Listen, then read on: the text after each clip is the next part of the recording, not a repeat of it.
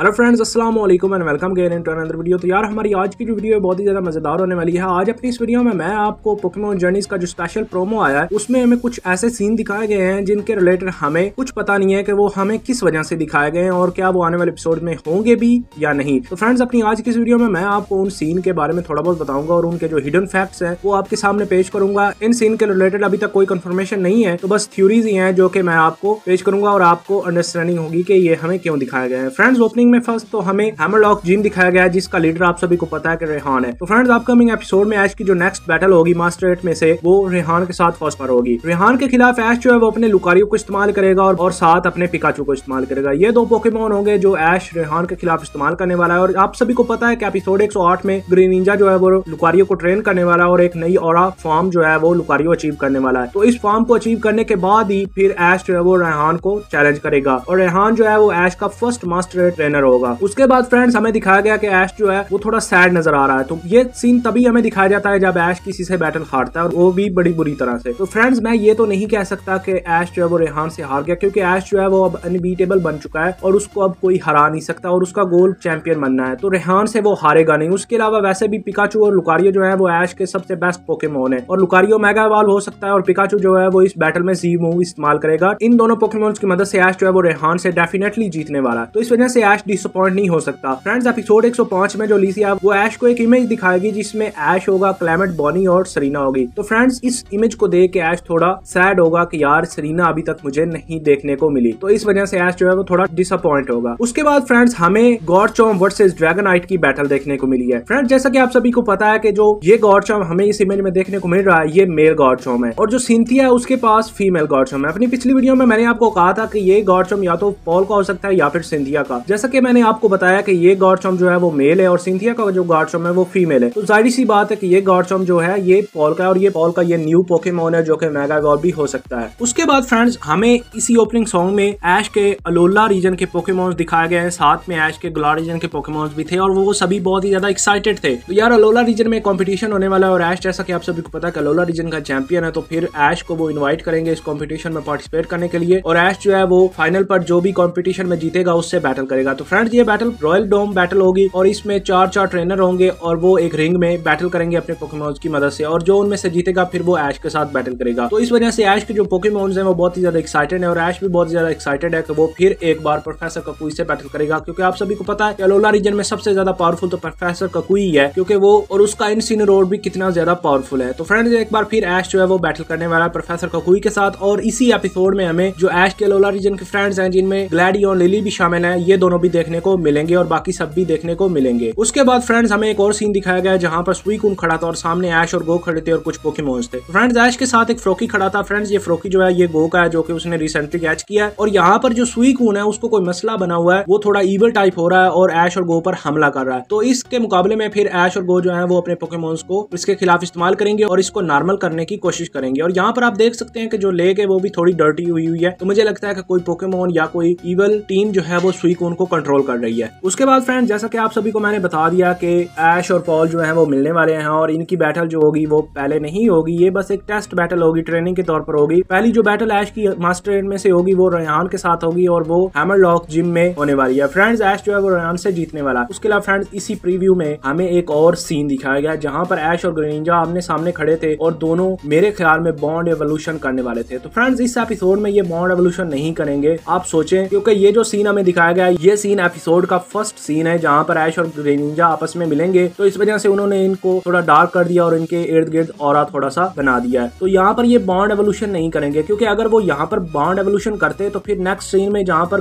Lucario और green Ninja और नीवो roots को कट कर रहे हैं तो वहाँ पर फिर हमें एश ग्रीन निंजा देखने को मिलना था। तो यहाँ पर तो सिर्फ़ ग्रीन निंजा था सिंपल और साथ में लुकारियो मेगा बॉल हुआ हुआ था। तो इस एपिसोड में एश जो है वो सिर्फ़ फोकस लुकारियो पर करने वाला है, और ग्रीनिंजा जो है वो बस लुकारियो की मदद करेगा। तो हमें इस एपिसोड में बॉन्ड फिनोमना जो है, वो शायद ही देखने को मिले। इसके चांसेस बहुत ही ज़्यादा कम है। तो फ्रेंड्स ये वो हिडन फैक्ट्स थे जो कि इस ओपनिंग सॉन्ग में हमें दिखाया गया और जिनके आंसर आप सभी को नहीं पता थे, लेकिन अब मुझे उम्मीद है कि आप सभी को पता चल ही गया होगा। तो फ्रेंड्स यही थी हमारी आज की वीडियो अल्लाह हाफिज। Till next video